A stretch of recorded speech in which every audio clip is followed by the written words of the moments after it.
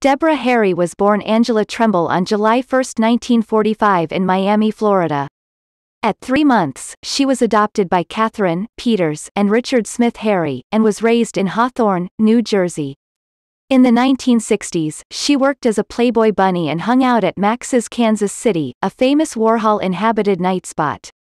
Her professional singing career started in 1968 with a folk band called The Wind in the Willows. She sang backup on their first and only album. The band broke up shortly after failing to achieve commercial success or critical acclaim. In 1973, she met Chris Stein, who became her longtime boyfriend. They created Blondie in 1974 after they both were in the Stilettos, a theatrical girl group band.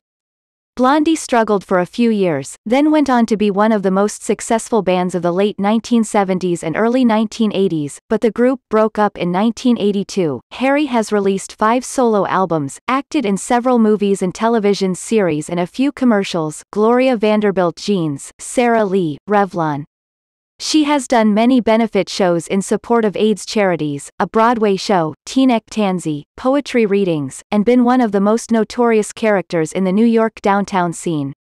As of 1995, she was doing shows in the United States and Europe with the Jazz Passengers and Elvis Costello, filming two new movies, Heavy 1995 with Liv Tyler and Evan Dando and Drop Dead Rock 1996 with Adam Ant and topping the dance charts with two newly remixed Blondie singles, Rapture and Atomic. Several Blondie tribute albums have been released and a Blondie remix album titled Remixed, Remade, Remodeled came out in 1995.